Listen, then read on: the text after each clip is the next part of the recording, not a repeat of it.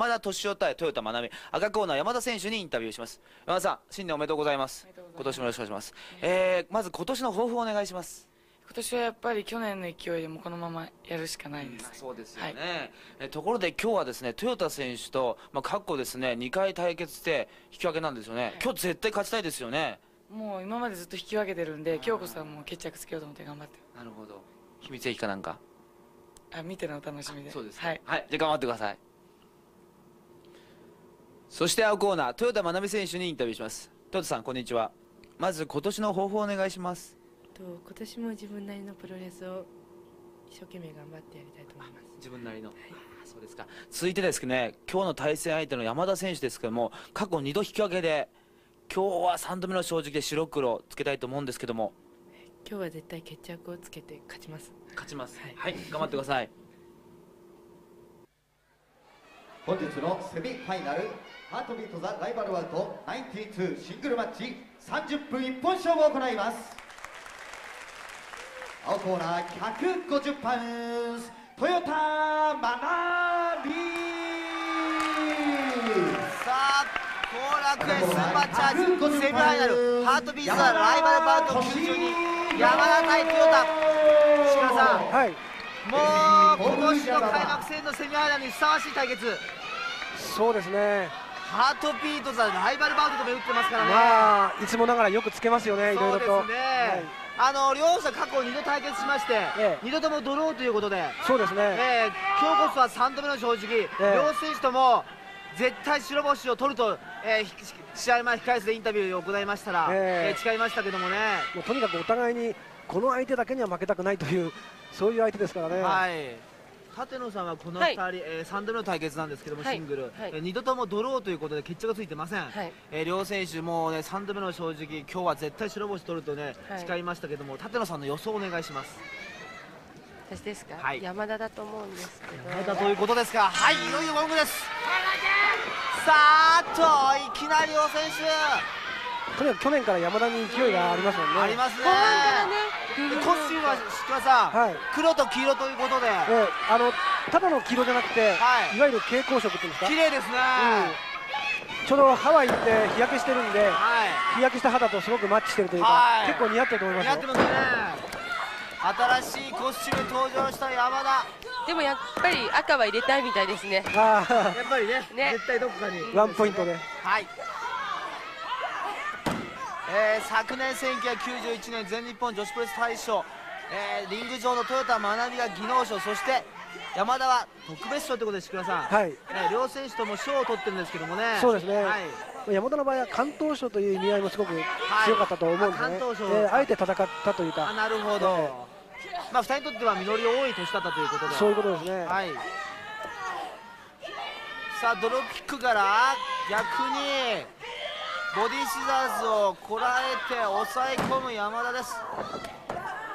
実を言うとですね、はい。あの91年なんですけど、はい。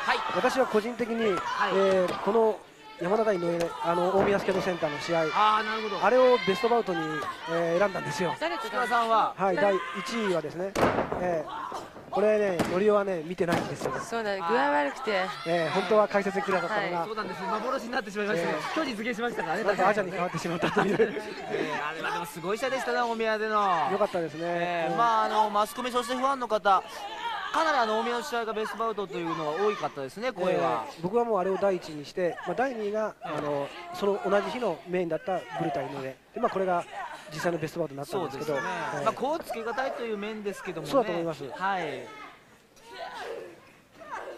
さあそのですね昨年91年、えー9月大宮スケートセンターでの30分一本勝負でもドローということでこのドローも志倉さん、はい。もう動いて動いてのドローですからね。そうです。ねしかも、はい。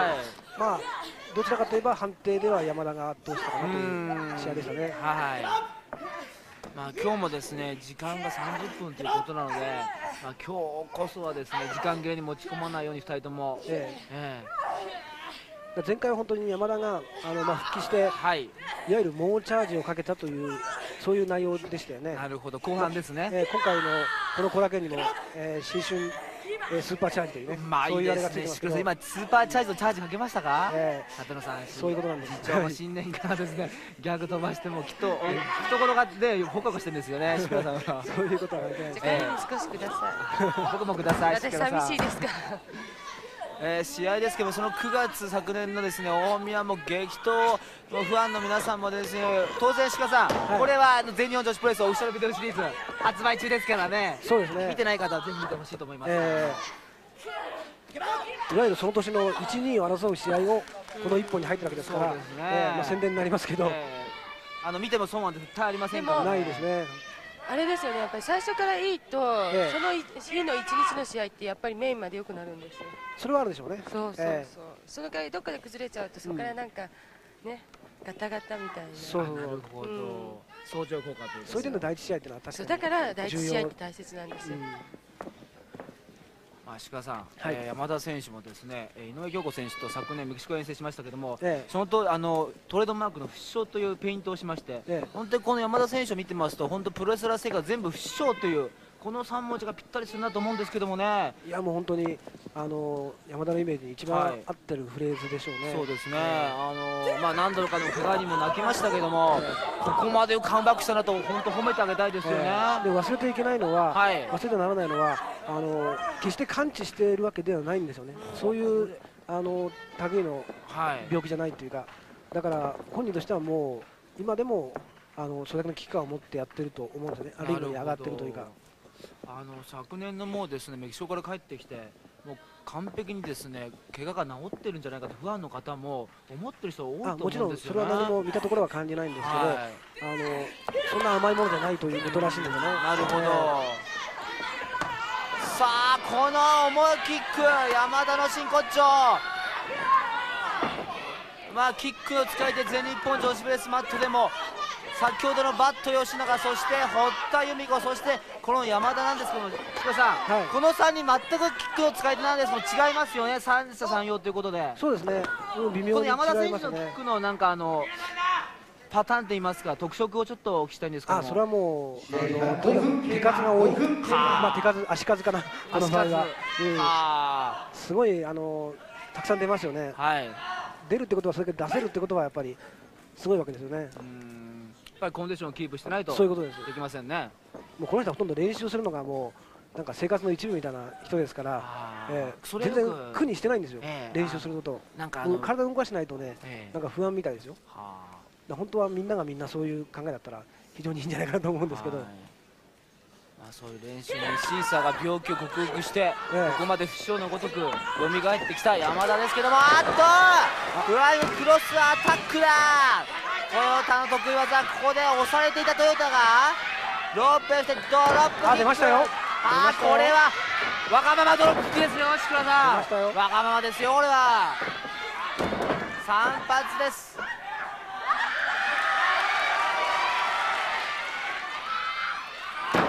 そしてロープ2段目からのミサイルキックがヒットしてカバーの体勢。カウント2豊田得意のドロップキックそしてこれは志子さんはい、ダブルアキレス腱固めというネーミングしていいんでしょうか、そうでしょうね。ええ。はい。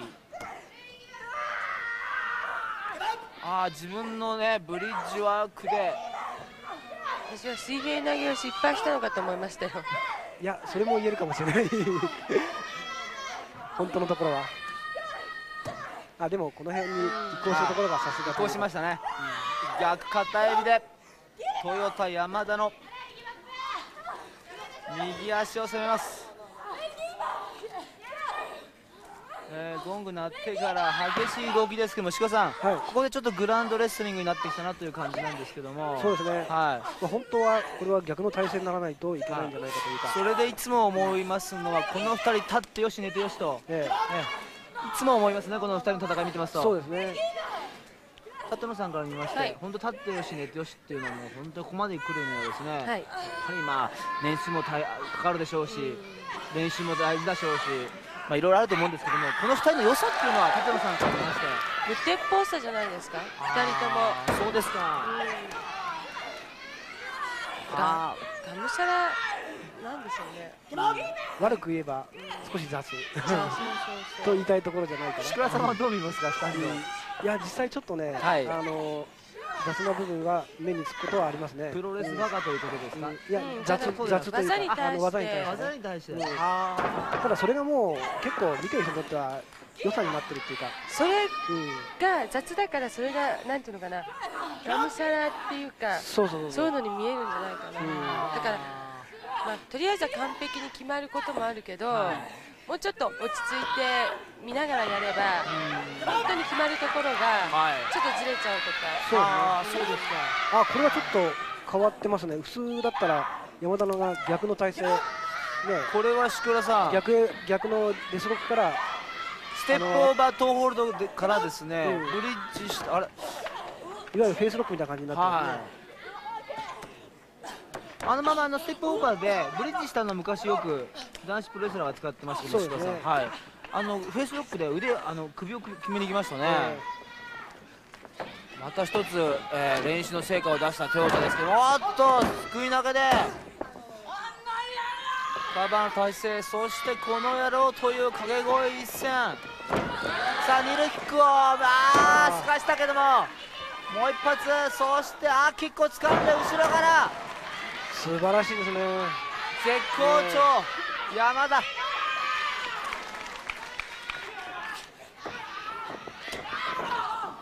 そしてラリアートです。ささんこれはメキシコ帰りのですね。これはもうしっかりなんかあの山田のトレードマークみたいな感じになってますね、はい。この技っていうのはよくあちこちでこの写真使われてますもんね。そうですね、えあの全日本女子さんのパンフレットにも出てますけども、えあこれは自分のですね首をてこにしてますんでね。あれ？でブリッジを鍛えてるのかもしれないですね、自分なるほど。そうも言えるか試な合中に。あトヨタのちょっとこれは苦しい悲鳴です鹿さん。はい。しかしこの女子プロレスは特に全日本女子プロレスみんな体柔らかいですね。そうですね。もうその中のもう極トヨタ。めつきがトヨタですよね。ベスト3に入ります。ソルホーで柔らかいんですよ、ソルホー。ソルホーブリッジの方で。はあということはスープレックスとかも。そう。だから、反りすぎて帰って悪い場合もあるんですよ。反りすぎて。羊考えられないですねそういえばちょっと思い出したんですけど、はい。あのー去年の暮れですね、えー豊田選手と会う機会があって話した時に、はい。あの彼女ふと漏らしたんですけど、はい。あのー実はね、えー新しいスープレックスを考えたんですよ。あら。って言うんですよ、そうですか。えーこれ多分誰もまだ使ってないはずなんでっていう話なんですね。もしかさすがにそれ以上は教えてくれないんですけど、はいだからあそれはじゃあ本当に大事な時に使った方がいいよと僕はそれだけ言ったんですけどというこだからとは今日あたりのこういう大事なカードになると当然チャンスを狙ってると思うんですよね、なるほど、えーまあ、出るかどうかそれは分からないですけど、はい。出せるチャンスなのかどうか、まあでも石倉さんにそう公言したということは今日もしかしたらうん、出す可能性もあ当然りますよね。狙ってると思いますね。はい。えさあその先ほど関節を決められてまたしても山田のロメロスペシャル釣り天井でぐいぐい関節を絞られるトヨタです。まあ、トヨタはもともとあのいわゆるジャパニーズオーシャンとかね、はあの難解な技もこれ完全に彼女のオリジナルですからね、はい。彼女のアイデアでできた技だからいなるほど。そういうところはねやっぱりスープレックスではあの負けないぞっていう意地があるみたいですね。さあ足殺しに出た。あのジャパニーズオーシャンなんかは本当に女子プロでしかできないっていうか見られないっていうかね、そうですね。あれ男のレスラーだったらもうそれこそポキっていっちゃうんですよ。そうですよ、ね、あんな体勢で投げたら。本当、まあ、かける方も危ないですしうん。かける方も危ないですしそうそうそう。両方危ないですね。だって大変だけどえーまだなんとかだ大丈夫かなという感じでしょ。はい、はい、さあギブアップを迫る山田です。関節そして今度足殺し。志賀さんここまで山田優勢でしょうか？そうですね、うん、あのトヨタはやっぱりちょっと最近ずっと体重が増えないのがえー結構悩みになってるみたいで、はい。もうちょっとやっぱ欲しいってことを言ってますよね。あもう山田が完全にもうあの外見的にもね体が復調しているだけに、はちょっとその辺の差が気になるところですね。いなるほど。さあ超高速ブレーンバスターそしてレッグドロップか。らアキレス腱固め。次から次山田ペースで試合は進んでいます。なんかトヨタはもうちょっと下半身のがっしりしてたような、ね、印象があったんですよね、えーなんか急になんかウエイトが落ちたような感じするんですそうですね。去年あたりずっとなんかどうも増えないんですよねっていうことを言ってましたね、やっぱりレスラーの場合はある程度やっぱり体重ないとそうですね。きついですもんね、羽鳥さん、はい。あんまりですねあのー痩せすぎてウエイトが落ちてすぎてもやはり技の威力とか。はい。太ってた方がはい。技が効かないっていうか骨まで響かないっていうあか痩せてると全部ーうん効かなそうな技でも全部ずっしんずっしんって体に伝わるような。あそうですか、うと今現在の豊田選手見て立野さんもうやっぱりもう少し増やした方がいいですか？うん、そうですうんね、痩せすぎでしょうか。いや世間一般で言ったらやっぱ体格良くてね、ええ。大きいけどプロレスラーとしては、そうです体重の話はあのうるさいですからね。でも本当自分痩せてましたよね昔昔って大昔ですよ。昔ってい本話。当に大昔すっいやずっとでもそういう印象しかないけどな。ごい痩せてた時やっぱり本当試合中苦しかったから。今ちょっと志倉さんコーナーへ振ってドロップキックを自爆して今のキックは顔面ですよ。あーっと山田のドロップキックもこれをすかしたトヨタ一進一退。あーっとそばっとあこれは。は。ーシャルビエかな？ルチャリブレ出ましたね。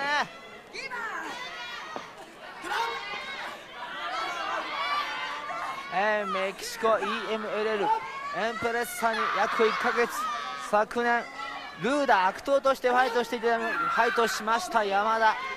やはり鹿さん、はい。悪党ファイトというのがですね異国の地で、ええ。やはりまたレスレスラー生活の中でいいシーンになったと思うんですけど危もちょっと今強引に落として顔面から鹿さんから思わず危ないという声が出たように。川崎でもねなんはい。かカットに入ってパートナーが、はい。なんか知らず知らずのうちに下ろしちゃったんだよね。はい。それはすごく怖かったんだけど。さあサイドバスターカウント2えー時間が非常に気になるこのハートビートザライバルバウト。15分経過15分経過。さあ半分の15分が経過しました逆片エ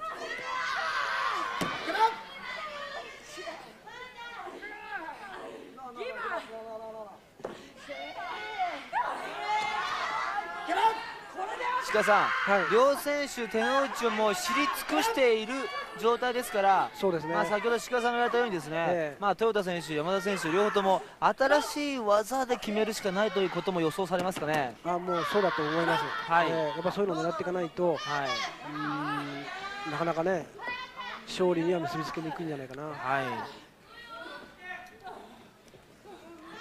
ここまで15分半分が経過したこのハートビート・ザ・ライバルバウト。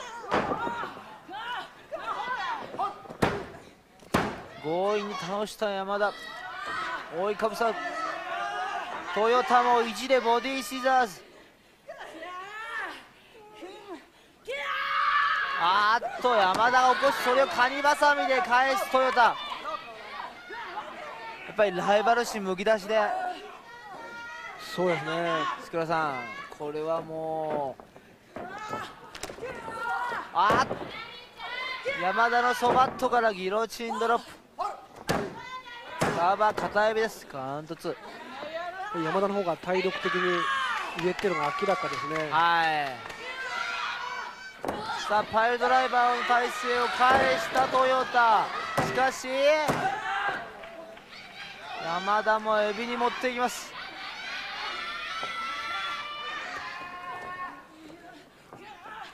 3度目の正直白星を誓う両選手。ソバットからあーカバーの体勢。これもカウント2鹿さんちょっとカバーの体勢早いんじゃないですか？そうですね、うん、でもそれによってあの、ね、じわじわとはい踏み込んでいるという感じもあるし、なるほど。逆エビです。これも腰に重心を置かずこれは反ってるような体勢ですね、えはい指で返したトヨタ。ここに来てトヨタが攻められてます。あーっとバックドラップ山田。カウント2です。あーっとバックドラップ返したトヨタカウント2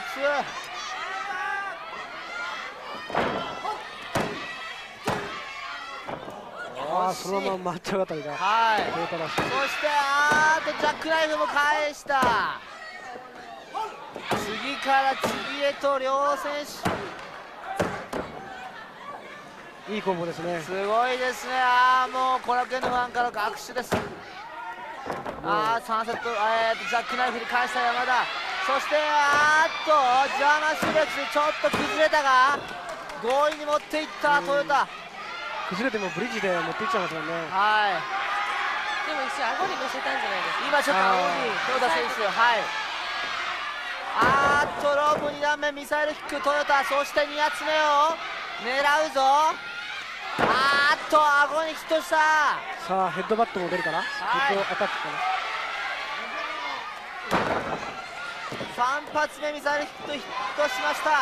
なあ4つのコーナーですね。はいさあ四方のコーナー。4発目です。あー背中が欲しい。カバーに入った。カウント2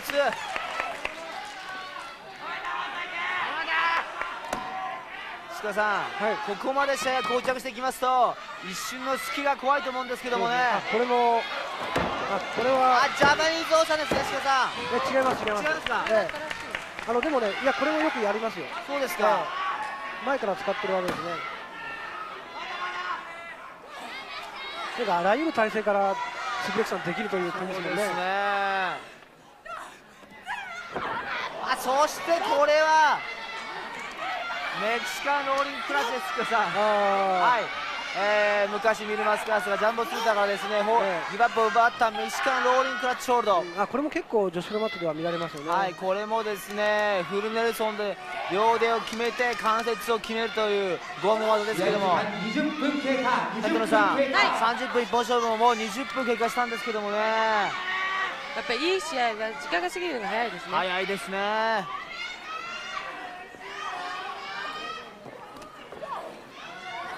さあ中盤からトヨタが盛り返してきたこの対決。あーっとニュールキックで山田が行くぞという山田。コーナーへ振ってラリアット。さあキックの嵐。そしてあーロープのハンドルしてハイキックから。トバット顔面です。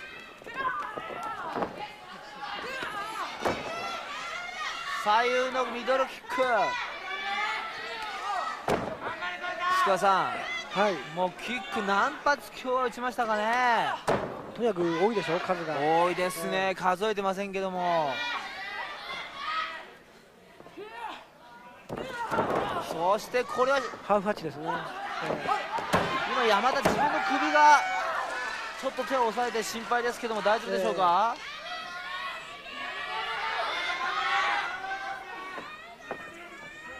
さあ残り時間も10分を切ったこの対決ですけどもあこれは何を狙ってるんでしょう？えーっとこれは珍しい攻撃。ロープ最上段に乗せてのエンジ蹴りで場外にダウンしたトヨタです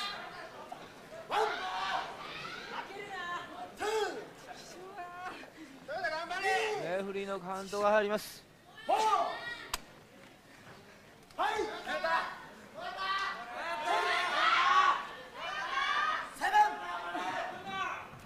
トヨタファンそして山田ファンも後楽園ホール二分されていますけどもさあトヨタ満を持して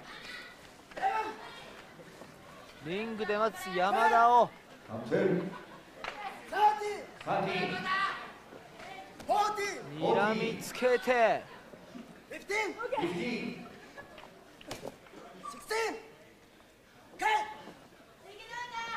あリン。グ内に戻って。あーっとドドラゴンスクリューであーこれもキックとあードロップキックがいった。このたよく見ていた。そしてまたしてもロープ最上段だぞこれはフライングヘッドはいアタックおーいかぶだったカウント2しかし熱くなりますねこれは実況的にそうですね、えーまだ2人ともスタミナの心配はなさそうですね。はい。立さん、ここまでどうですか？何でまた30分フルタイムいくんじゃないかと思うような戦いですけれども。おかしくないですねそれでもはい。あちょっと変わった話ですね。これは？勘抜きのような感じですね。えーちょっとでも違いますよ、勘抜きとは。はい。えーこれかもしれないですね。鹿さんにええ公約した。後で聞いてみてくださ。はいい。勘抜きに似てましたけどもね。はい。初めて見せましたね、トヨタ。これはでもそのままフォールに結びつける技ですね。はい。そしてボディスラム。あー、ギロチンドロップには山田がよく見ていた。そして左からのキックでもう一発。顔面狙った。この間が怖いんですね。間から飛び出す山田のキックが。なるほど。やはりキックというのは鹿さん、不利から一転して逆転に持ってきますね。そうですね。え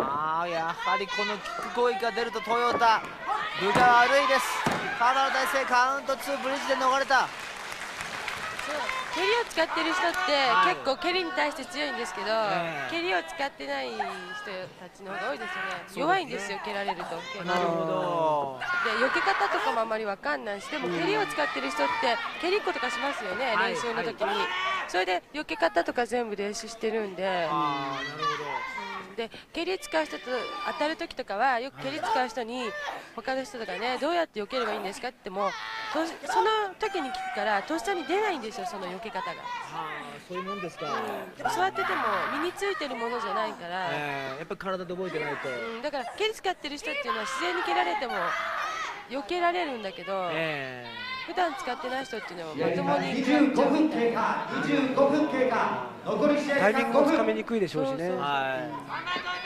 い。さあここで25分です。あと5分を切りました。さあ張り手から。あーノーザンライトスープレックス気味に投げたまあ、ノーザンとかほとんどフロントに近かったですね。えーはい。固めませんでしたからね。もうこの人の場合はね、トヨタの場合は本当にあのブリッジだけでね持ってっちゃうって感じで、スープレックスなんでもございのトヨタに負けじと山田も投げました。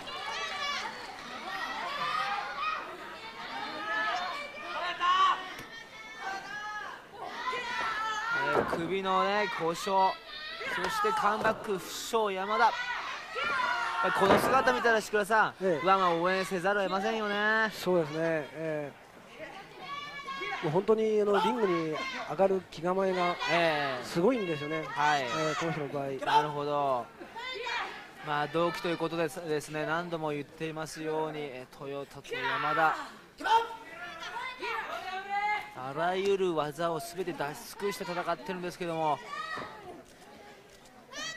そしたら昨年の9月のですね、ええ。えー大宮での試合をなんかまあやっぱりオーバーラップするような本当に高い水準の内容ですねここまで。ですね、えーだからまあその前に、はい。あのやっぱりその前の年に後楽園でベストバウト取りましたね、はい。でやっぱそれだけレベルアップしてるわけだから、はい。そういう意味ではプレッシャーも大きいと思うんですよね、なるほど。さらにレベルアップしたものを見せなきゃいけないというそうですね。ことがありますから、はい。まあ、勝敗とはまた別の意味でね。はい。さあ山田がこれはあ強引なボディスラムバックブリーカーとでも言いましょうか。シュミット式バックブリーカーの変形です。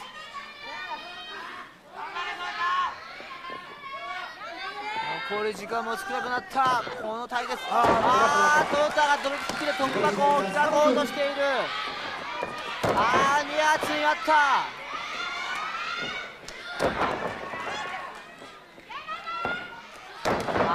なおも続くドロップキックの連打です。そしてダブルアームスープレックスカバーに入った。これもカウント3取れません。さあ耐え忍ぶ山田攻め続けるトヨタ。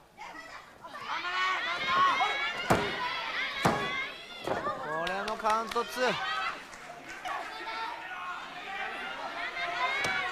鹿さん、はい。ここまで来ると両選手攻め疲れないでしょうか？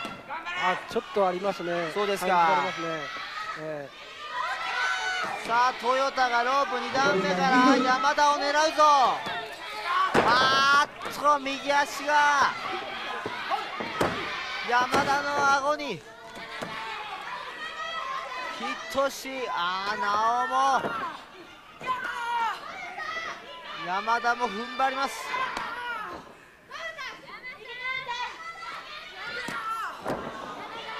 山田はキックそしてトヨタはスープレックスとドロップキック。全く違うタイプの両選手。ー、あー今の見事。えー、宿屋さんから見事という声がかかりました。山田のキックです。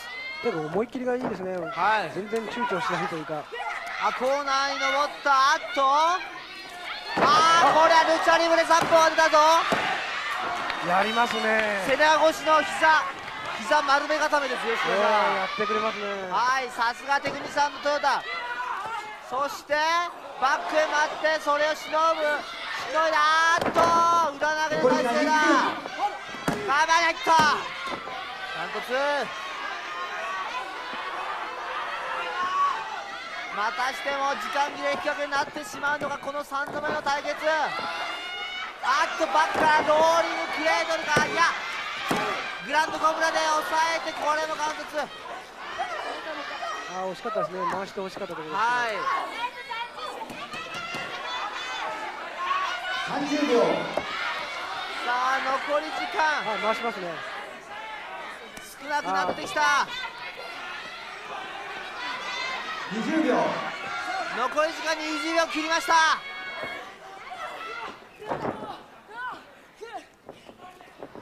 山田がエビで。10秒。カウント2強引にジャーマンで投げてカバーの体勢これもカウント2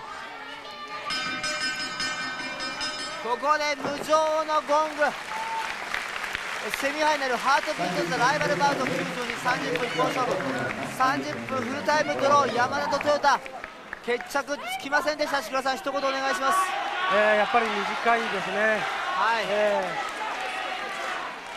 ー。延長コールですね。延長コールがですねお客さんが出てますけども、フルタイムドローでしたね。フルタイムやってからの延長ってきついんですよ。でしょうね。おーっと鹿さん5分間の延長。しましたよ。認められました？はい認められました。リレーの5分間ムーンサートまさにこの技をお客さん待ったって感じですね。トヨタムーンサーそしてこれは？ケブラダですね。ラ・ケブラーダーに？あーラ・ケブラーダー狙ったけどもスタミナ切れのトヨタ。滑ったかロープが緩いかじゃないどっちかでしたうねん。なんと30分タイムアップドローそして異例の5分間延長マッチすごいセミファイナルです今フライングボディアタックがしました。うん。あの膝が入ったリアト気味に逆に。そうそうそう帰って聞いたみたいですね。はい。そしてブレンバスター攻め続けるトヨタ。しかしそれにしても今の延長戦に持っていく対応は素早かったですね。さあこれはフライにとっては嬉しいお年玉でしたね。でもやっぱり決着決着が見たかったってことですよねこれは。うん。やっぱりまだもう一つ見足りないなというのがはい。あったかさあらですね。山田が最後あ円髄ですよ。があと円髄これは見事に決まった100%これはもう山あ田スペシャルですからね。これもカウント2です。これ振り向きざまの円髄っていうのは山田しか使わない技ですからませんねえ他の人は。えこれは本当すごい見事ですよ。はい。そしてバックドロップで放り投げ捨てた後カウント2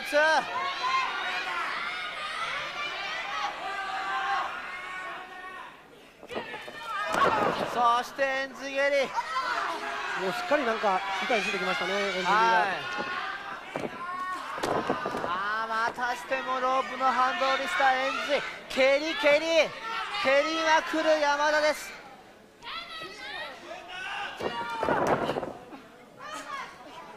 そして超高速ブレーンバスターカバーに入った。カウント2技を一つかけるにも体力が消耗してるからはい。うまく決まらないですね。そうですね。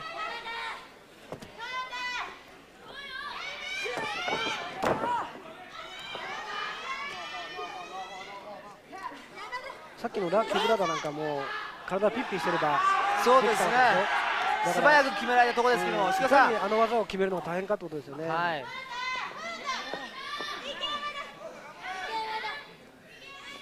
やはり山田、このリングにかける情熱、人一倍強く感じます、そしてトヨタも負けてはいない、鹿さん、はい。お互いリングにかけた情熱、素晴らしいものがありますね。そうですね。もうその競い合いという感じですね、はい、さあ、ここで蹴って蹴られていたトヨタが逆にまたしても、あっと、これは危ない、ツーストンパイドライバー、カバー。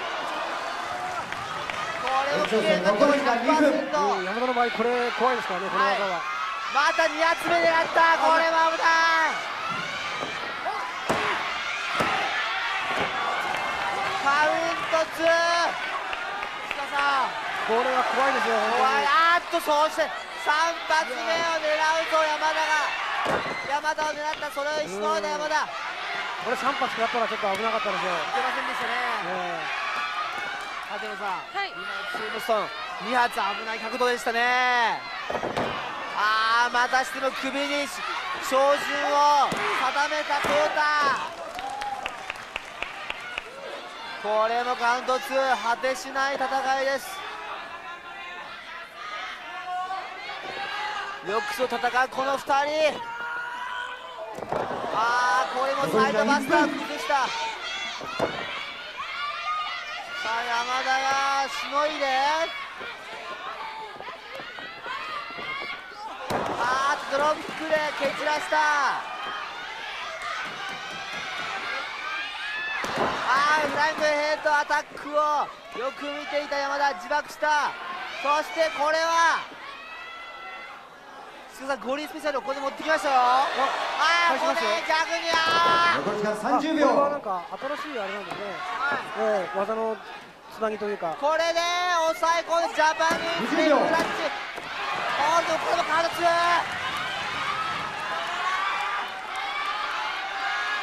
もう後楽園のファン山田トヨタ絶叫です。その気持ちはよくわかるこの戦い。時間がなケブラーが狙ったんだけどちょっと距離が。5分間時間30切れ分フルタイムそして延長戦5分もドロー。延長戦5分間は時間切れ決定あちょっとまだ、えー終了のゴングがあ両選手。止止めた方がいいですね。めた方がいいと思います。続けて5分間延長いたします。宍倉さんあれ。なんと35分またしても5分ですよ。私声が枯れるまでやります。驚いた対応の速さですね。すごいですよ、今日は。ええもう本当お年玉ですねこれは、はい。え私も鹿さん舘野さんとこれはね実況できるの嬉しいです。30分そして5分。なおも5分延長戦。どっちのコーナーでしょう？もうわからないですねこうなると、ええ。私も背筋がゾッとしていますよもうああ両選手に勝たせてあげたい。舘野さん、両選手勝たせてあげたいですね。それは無理ですけども。どっちかが諦めたら終わりなんですけどね。そうですよね終わり。うんはい。コン比べになっちゃってるんですよね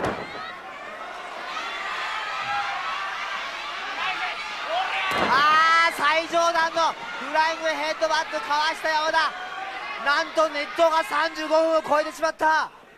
セミファイナル。どこまでスタミナが持つのかこの両選手。改めてプロレスラーのスタミナ。そしてリングに投げる情熱の凄さに。感動してしまいます。これ重要なことはね、はい。ほとんどこの2人ノンストップでやってるんですよね。そうですね、え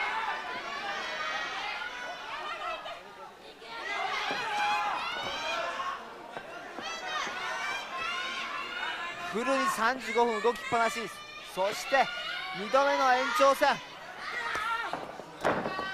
まあ、ここ後楽園ホールにはですね山田選手の垂れ幕山田敏夫にはどんな時でも私たちがついている鹿さん、はい。今こそこの言葉が山田励みでしょうね。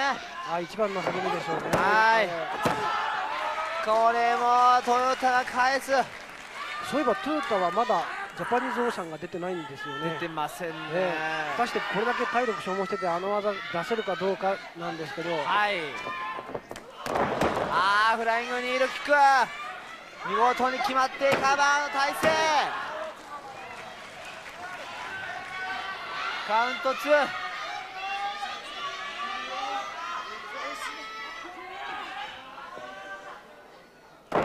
あー先ほどの返しですか、はい、はい、デンジャラスなパイルドライバー。1991年全日本女子プロ大賞特別賞山田そして技能賞はトヨタこの2人の対決。パイルドライバーもうやられたらやり返すということでほとんど両選手技のレパートリーはこれで鹿さん。これでまだブリッジやりますからね。残り試合時間2分。恐るべきですあっねと驚くことにも2度目の5分延長戦も残り時間2分を切りました。ああ丸め込んだトヨタ。これはこれも決まらない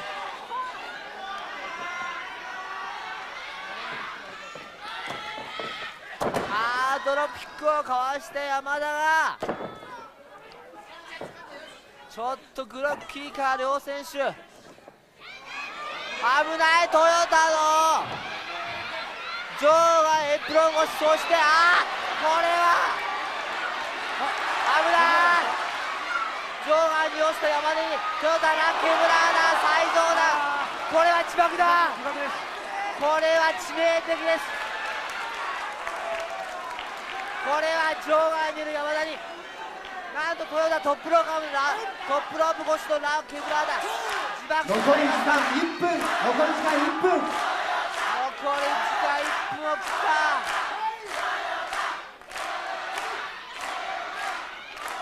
トヨタフラフラです。2度目の5分延長戦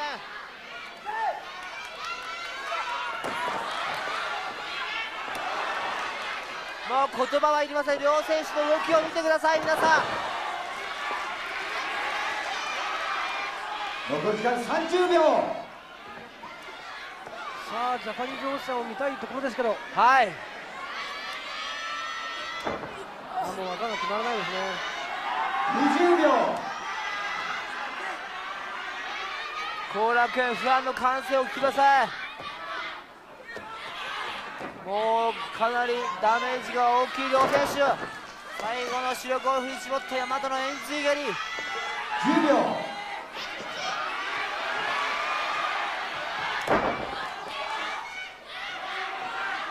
ああここで！狙ってますよ福田さん！いやまたしてもタイムアップですね無情のゴングが鳴りました。なんと40分。フルタイムドローまずは志倉さんが一言お願いします。もうこれ多分40分も50分も60分やっても一緒じゃないですか。そうですか。うん。はい。無制限ぐらいにしないと決まらないと思いますね。はい、えー、舘野さん40分戦った両選手に、ご苦労様でした。そうですね。は志倉さんはい。4度目の対決白黒決着が持ち越されましたね、まあもうこれ以上はちょっとあの望まな望まないというか。そうですね。ん。あのやらない方がいいと思いますね。はい。よくやっった両選手に拍手を送りたいですね。